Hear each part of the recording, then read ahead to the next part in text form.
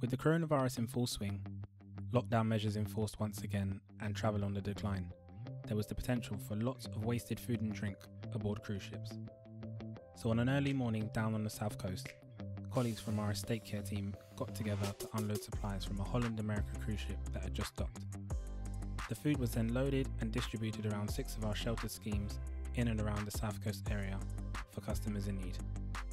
And our estate care team leader, Rikki Valentine, was there on the day to tell us more.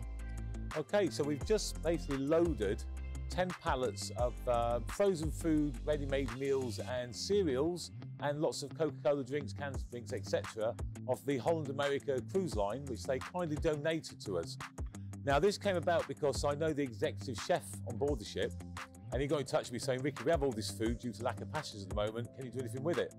Um, I was sat at home actually talking to my, my partner Julie and she suggested why not speak to work, you have a lot of vulnerable residents there. Um, it's an ideal opportunity for the newly formed estate care team to shine and show what we can do for our residents and for the general public. Um, so we put together a team today. We brought up two of the estate care managers, um, Paul Fosbury and Steve Burke, and one of my operatives, Chris Major.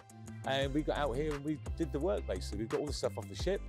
Half of it came to us, the other half went to the Southampton's Veteran Centre in Southampton, who then distribute it to the um, people in need, homeless, uh, families in need at the moment, and it's a great, with the lockdown just come in, it means a lot of people are going to get some free food and it's going to help them through a difficult time. We have to get all this food distributed as quickly as possible.